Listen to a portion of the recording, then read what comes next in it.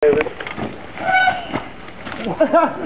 on, not a good start, is it? Hey Chris, it's Gary. I haven't quite managed it. The, the uh, plugs are a bit tight. Just give us uh, another minute or so. But, Yeah, just wait to make sure you're... No, you may.